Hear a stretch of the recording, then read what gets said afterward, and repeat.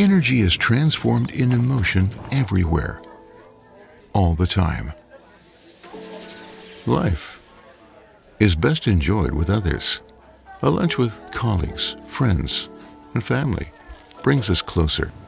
In the demanding fields of agriculture and food processing, motors and drives are key components. The right gear for each application ensures efficiency, no matter how challenging the conditions.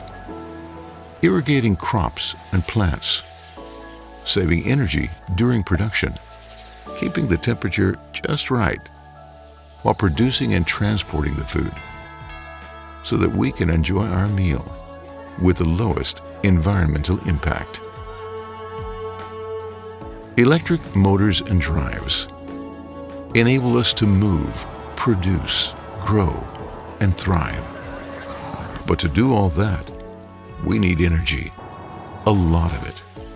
And with our growing population, urbanization, and rising living standards, we'll need even more. At the same time, to fight climate change, we need to reduce carbon emissions.